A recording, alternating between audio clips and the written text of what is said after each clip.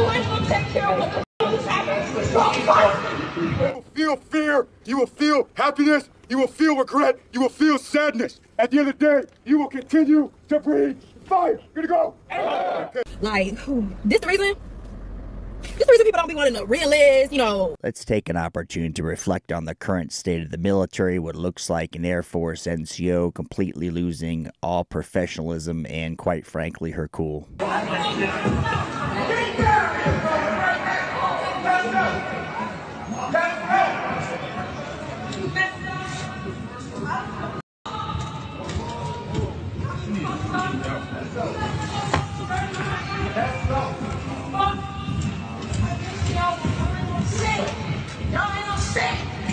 Let's set the stage here. Looks like we have an airman in her 30s loses any ability to maintain military bearing professionalism. Hold on a second. I know what you're thinking. The hurry up and wait can get to the best of us. However, is this the way to conduct yourself in any business, in any occupation? Stand by.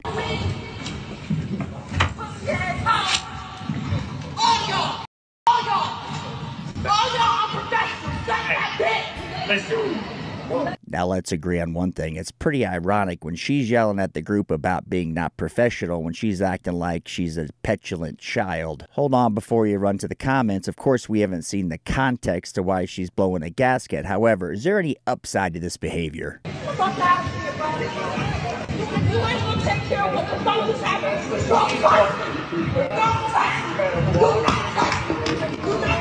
Now I'm guessing the light skinned fella to the left's the first sergeant, trying to bring her down, calm her down, get things under control, and she snaps. She's completely lost the ability to act as an adult. We'll call it military bearing, but this kind of behavior in any context is never going to work out best for you.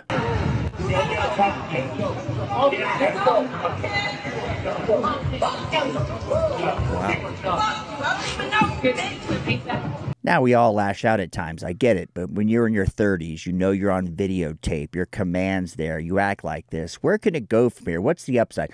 Where do you see her ending up? Kelly, BJ. Oh,